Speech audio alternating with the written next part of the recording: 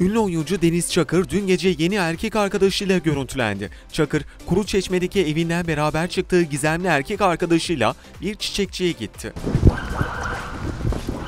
İyi akşamlar Deniz Hanım nasılsınız? Merhabalar, iyi misiniz? Biraz konuşalım neler yapıyorsunuz uzun zamandan beri görüşemiyoruz.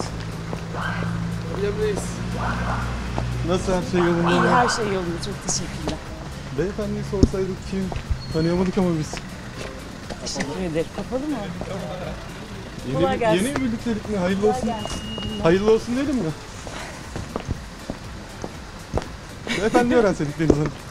Hadi kolay gelsin oğlum. Hayırlı olsun diyelim mi peki?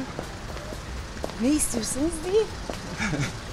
O zaman hayırlı olsun diyelim. Hoşçakalın, kolay gelsin. Uzun hani yeni bir birliktelik mi Ya, ne olur, ne olur. Hadi. Peki. Teşekkür İyi ederim. akşamlar. Sağ olun.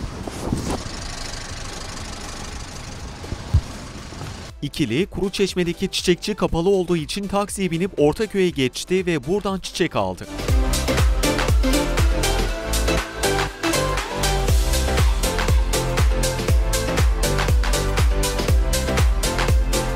Çakır ve erkek arkadaşı daha sonra tekrar taksiye binip Beşiktaş'ta bir otele giriş yaptı.